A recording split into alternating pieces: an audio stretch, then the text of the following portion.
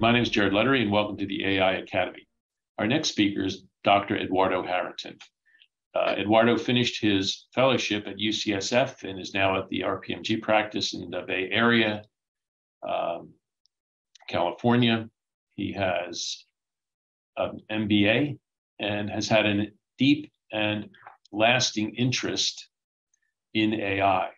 He recently hosted an ASRM webinar on this exact topic, hosting different speakers from industry and clinics. He's going to talk about a smartphone playing off a publication that he had. And if you, like I, believe that smartphones are the direction we're going to be heading in assisted reproductive technologies, he'll have some interesting comments and insights to share so that we can be informed about these options as we move forward. Hello, everybody. My name is Eduardo Hariton, and I'm going to be speaking today about smartphone apps, wearables, and ART, um, and just meeting patients' expectations. Um, some housekeeping items. Uh, do not endorse any of the products that I will discuss today, and I'm an advisor to some of the companies, none of which I'm directly discussing, but some of which are tangentially related. Um, so today we'll talk about a couple things. What's the problem that we're trying to solve with apps and wearables? What are some possible solutions to those problems? And then let's think a little bit about what the future might look like and uh, what some uh, implementation may be for these tools. So let's first think about the problem a little bit. Um, let's think about the population that we're serving. We are increasingly serving millennials, and I had to Google this. They're 26 to 41 year olds, so including myself, and then the first digital native generation. What does that mean? That means that my peers grew up with computers. We had them in our homes when we were kids. We grew up with smartphones as teenagers, and we spend the most hours on the phone of any generation. So we spend about 3.7 hours a day on average which makes it sadly 23% of our waking hours. 96% of us own a smartphone and 86% use social media. Uh, and then importantly, about half of us use a smartphone as our primary access point to the internet. So it does, you know, everybody's on the internet, but most people are accessing directly through their phones. And what does this mean? It means that we expect to be communicated with seamlessly, whether it's when we're ordering food, or when we're talking to friends or calling family or whatever it is, we want to have that be a seamless, easy experience on our phone because that's how we're used to communicating with others. What's the problem? The IVF workflow really hasn't changed in four years. This paper here on the right was a great piece by some of the leaders of our field that outlined how much we've improved since the first uh, IVF baby was born in 1978 in terms of our success rates and our ability to get people pregnant. But when you take a step back, the process looks pretty similar. You show up at a doctor's office, they talk to you for a given period of time, get a lot of information, they counsel you, then they send you on your way to get some tests. You come back, you look at those tests, and then you go through a process where you come back to the clinic multiple times uh, and then have some sort of procedure, hopefully to help you get pregnant. So the actual backbone of IVF hasn't changed. Importantly, the way we communicate with patients often hasn't changed. We have messaging portals that are a little bit clunky. There's a lot of HIPAA regulations that create obstacles. So it's hard to iterate on the communication ways. And when you think of it at a clinic level, clinics are very good at serving patients. They're very good at taking care of individuals who need help they're not set up to design fancy web-enabled apps that work on iOS and Google phones and etc. They're just that's not what they do. So there has been limited innovation in this field coming from the provider side. What we really need is we need tech-enabled solutions to meet the patients where they are, and they are wanting to be communicated via apps and to have the rest of their ecosystem, which is often on their phones, match where they're getting their healthcare. And these solutions need to be scalable, they need to be easy to use, and they need to be affordable. So we'll jump into talking a little bit about apps, we'll talk about wearables, and then we'll talk about the role of AI and how that might impact um, some of this movement into the phones and, and communicating with patients in that way. So In terms of mobile applications, there have been extensive use of mobile applications through healthcare with promising results. And I just did a cursory search online, pulled out some papers, but you can see here we've done it to treat depression, we've done it to improve hypertension adherence, we've done it to uh, look at weight loss. Some of these have been successful, some of it's not so much. But the idea of using apps in healthcare to engage patients and improve their behaviors or improve how we serve them is not new and has been happening across healthcare. Infertility per se, for a lot of the proactive fertility users or people who wish to use birth control, mobile apps are widely, widely popular. I would say it is the exception to find a patient that doesn't pull up their phone to tell me how many uh, days happen within their periods, when they're having intercourse. More, more people are using their phones to track their cycles, track their fertility. Um, and there's multiple apps that are able to do that. Some that are very good and some that are not based on data and not so good at all. I did want to mention there's one app that's a, an FDA cleared birth control method called Natural Cycles, for example. With perfect use, they cite a six a two percent failure rate and a six point two percent failure rate with typical use. And you know, for some, that's not enough when you compare it to, for example, an IUD or an Nexplanon. But when you compare it to condoms, which are the chosen way for a lot of people, it's a similar success rate um, in terms of uh, use, and then a much worse typical use rate. And I did flip it, so it should be 15% here, but you get the idea. It's pretty successful uh, at preventing pregnancy. And that's really unique and something that's new in the last few years. I also wanted to mention this study. This is a randomized controlled trial from Washington University where they looked for an, a, to see whether an app to manage medications during IVF was helpful you know, in their study, they found that there were no significant differences uh, in medication errors, medication surplus, or patient-initiated messages. So they were seeking to make medication use safer, more efficient by having less left over, and then less burdensome on the clinic staff. And they did not find that what that was the case. You know, below that you can see a reflection that I wrote, in infertility and sterility, where I said, I, I don't think we should give up on apps yet. Um, this study was of limited power. There was no IT integration. So when the patients were sent a message to the app, then they also got a call from the nurse, which is what the other arm did. Um, and it, they had to manually move the things over. So my argument is we don't need it to be better than human interaction. We need it to be at least the same uh, because that means that it's going to be more efficient. And that means that instead of making phone calls to say, hey, let's go up on your dose, let's go down on your dose, come back tomorrow, we're sending messages. So that nurse now has more time to dedicate to other patient aspects that are a little bit more value add. We still need to study this and make sure that, that this is the case. Safety should always be the most important part. But I think there's an opportunity to use applications in the management of medications and other areas of fertility, which I'll touch on, in order to improve IVF outcomes and the patient experience.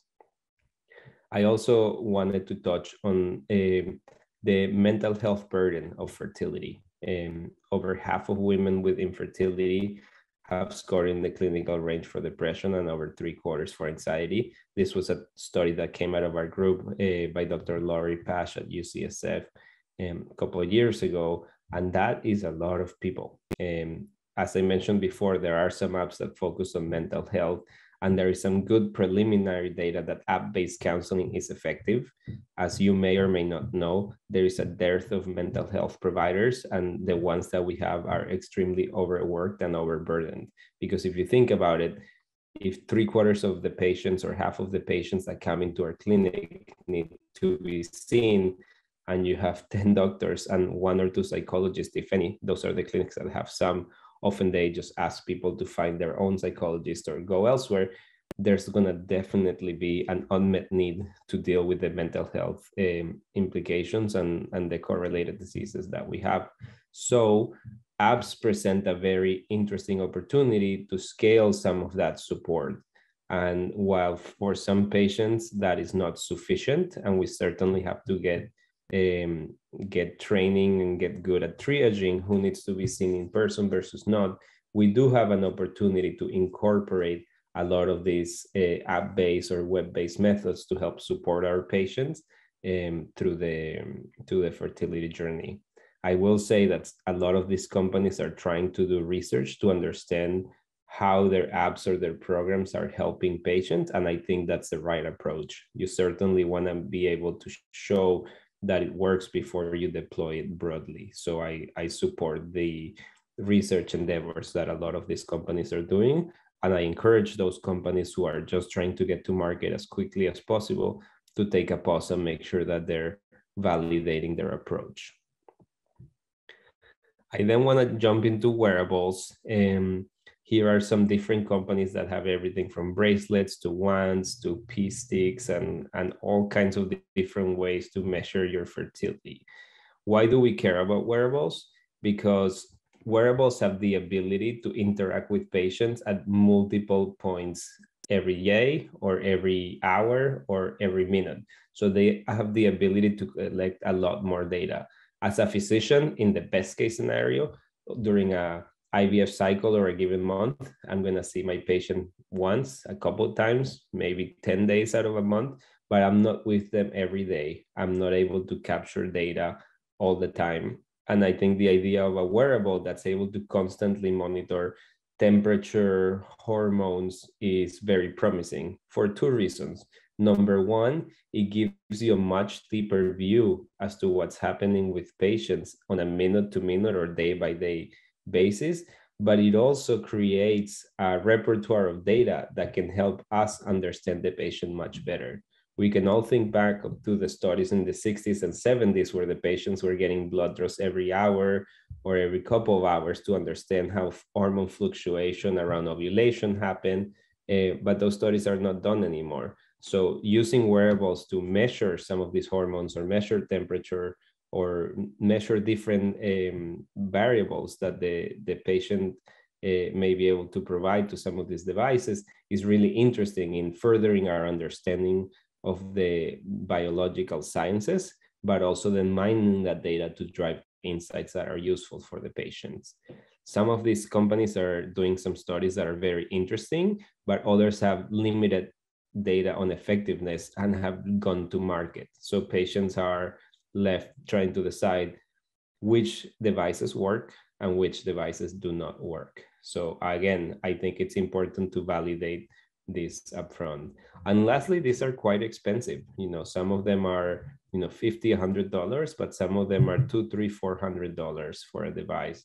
And a lot of them have, you know, kind of like a razor, razor blade model where you have to continue to buy test strips or whatever else to continue to use it and they can get quite costly.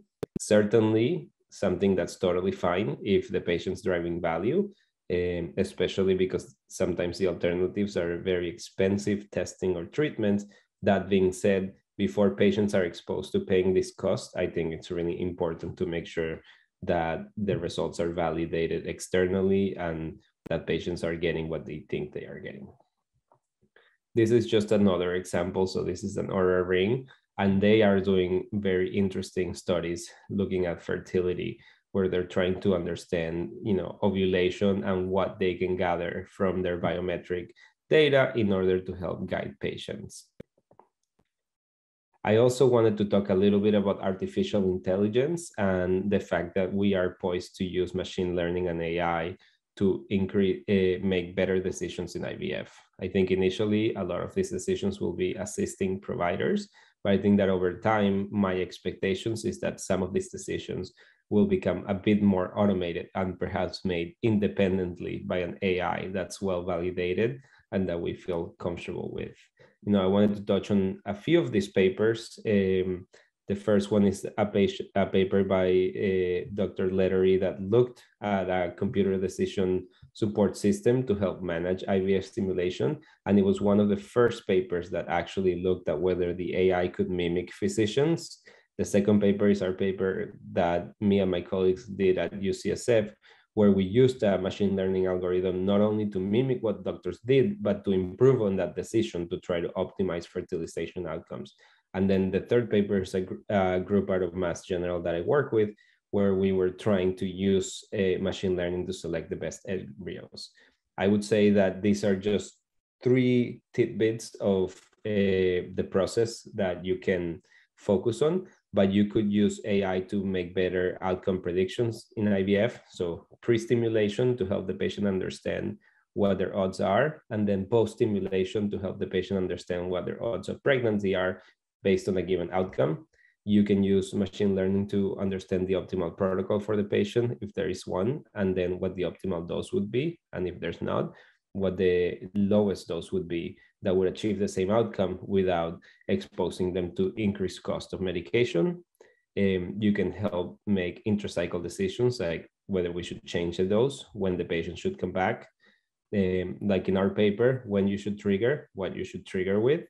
And then in the embryology lab, help decide which embryo to transfer. And if people are not making embryos and are making eggs, for example, you could help them understand what are the chances that those eggs will make embryos and babies down the line and make that a little bit more personalized than just saying, oh, you're 37 years old. On average, for all comers, this is your probability. I think when you think of how this might happen, I think a tech-enabled implementation is key. So this should not be something that the physician has to go in, plug in some numbers into an Excel sheet and get an output. This we should be thinking of designing software where if an AI is going to make these decisions and suggest these decisions for patients, then we are able to um, basically get the patients the answer without having to go through a physician. Again, it needs to be well validated and we need to feel comfortable, but I think we're going to get there in the no so distant future. So in summer, the data is promising, but it's pretty early in the space and we need high quality studies to proceed clinical implementation to make sure that we're only uh, offering patients things that are standard of care and that the high quality and the good outcomes that we've gotten to are not only sustained, but hopefully down the line improved by the application of machine learning and some of these other um, technologies like apps and wearables. Um, so let's think a little bit and let's reimagine the fertility experience. This is what I like to do uh, at the end of the day um, after a long day of patients. Is just think how can we make this better for the patient, both from an experience standpoint and from an outcome standpoint. So I think we can use some of the things that we talked about to give patients proactive fertility education. You shouldn't learn about your fertility, about the age related fertility decline when you are having a problem after 12 months of trying. You should be educated throughout your life when you're not trying to understand what you can expect with your fertility.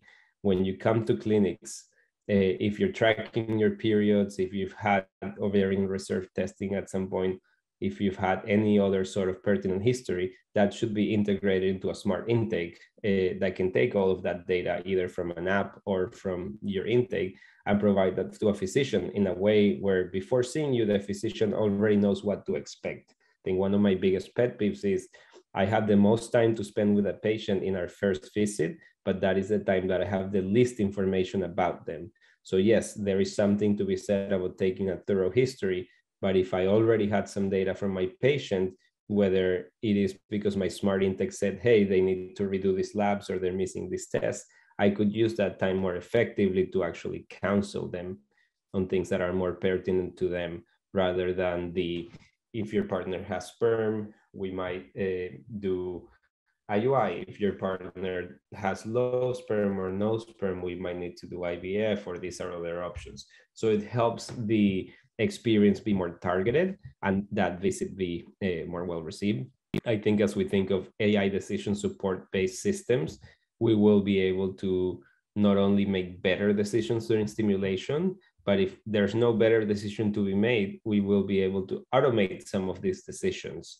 We'll give some times back to our clinicians so that rather than standing in front of a computer making decisions, they will be face to face with patients, spending time and deepening those relationships.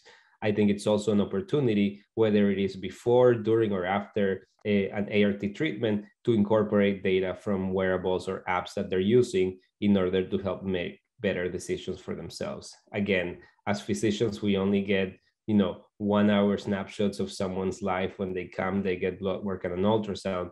But if we are looking at um, looking at devices that are monitoring them in and out, especially if they're monitoring hormones or perhaps doing ultrasounds at home, which is another trend that's rising, we will have a much better, deeper, and comprehensive picture of what's going on uh, with their fertility. And we will be able to hopefully use those insights to drive better decisions. And then lastly, I do really feel that app-based seamless communication is what people want and need.